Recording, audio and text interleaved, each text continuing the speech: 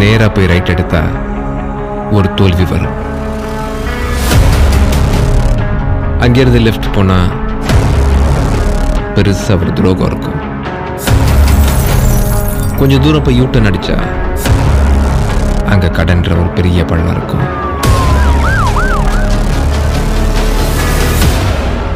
அந்த பள்ளத்தில் உளுந்து எதிர்த்து மூஞ்சி மோரெல்லாம் பேந்து நேராக போனால் அங்கே ஏமாற்றன்ற ஒரு சிக்னல் இருக்கும்.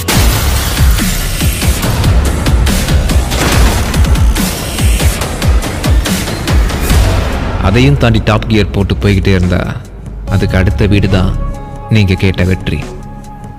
அந்த வெற்றியை தொட்ட மறுகணமே திரும்பி பார்த்தா யமன் எருமையில் நம்மளை விட வேகமாக வருவான்.